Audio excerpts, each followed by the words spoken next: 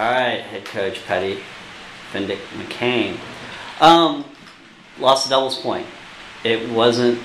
It wasn't pretty. It took an hour and 15 minutes. Were you, you know, what'd you, what'd you have to say after that to get them going in the singles?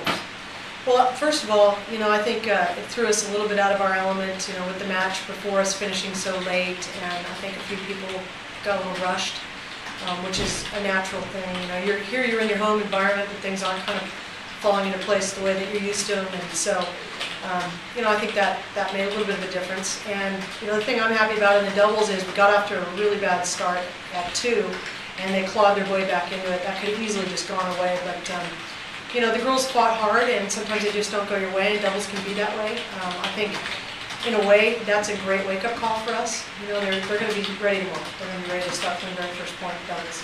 As far as the singles goes and, and being ready to go out, um, this is a group of fighters. They don't really get too concerned about losing one point. We've uh, been doing a great job in singles uh, all the way down the stretch here, and uh, every single person has played well and, and fought hard and gotten us you know, built a lead for us pretty quickly in that singles to get everybody relaxed and breathing and being able, you know, the matches are a little bit more contested or are going our way as well. So, you know, I, I felt good about it. We, we got those four points. We were going to get the other two. And, you know, I feel a little bad for Ariel. She was at match point, and I just hope that doesn't make the difference between uh, having a shot at being seeded in NCAA because that would be unfortunate. Um, speaking of the ones who, who really poured it on, uh, Vanja and Lancaster, you know, and Maggie, you know, all just came out gangbusters, and you know, just never um, gave it up. That that seemed to loosen up a, a Damico who was down 5-0 and came fighting back. I mean, talk about the fight of some of the ones that didn't get finished even. I mean, because Ariel had struggled. Yeah, well, Ari- you know, Ariel's. a Uh, fight. You know, playing at one is always going to be a tough match. Two is the same way. Um, with Krista, I think she was still playing that doubles match for about the first 45 minutes of her singles match, so it took a, a little time to shed that. Um, she also knew she she had come from way down against the girl when we went to Oklahoma State, and so she knew she could come back and beat her, which is always something that feels good. Uh, Vanja went out like gangbusters. She was very focused. She was upset with herself that she let that doubles point get away, and she was going to make amends for it pretty quickly. Ariel was the same way. Um, Maggie's been doing it all season long. She's been really focused and very disciplined, and you know, the biggest thing for us is the discipline the girls are showing, and uh, they know what they have to do. tomorrow matchup Tech Nebraska. What do you see?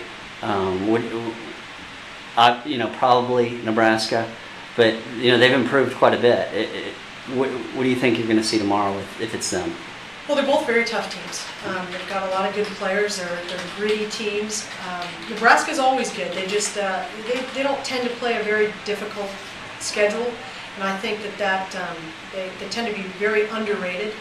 Uh, we, we take them very seriously. We also take Tech very seriously. They're you know they got a team full of Texas girls that are, that are tough tough kids. So um, for us, you know, we're just looking forward to a new day and a new challenge, and, and um, glad to be out there playing. It's nice to be at home.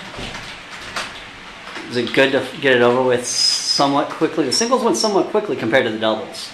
Does that help you? To Yeah, get actually, it was all? about the same amount of time? Yeah, I mean, hour and fifteen for the for the doubles. You know, that's what discipline in singles does for you, though. With you, you know, when you're when you're doing what you know you can do and you're sticking with the plan, it's that's the way it should go. All right. Uh, thanks much.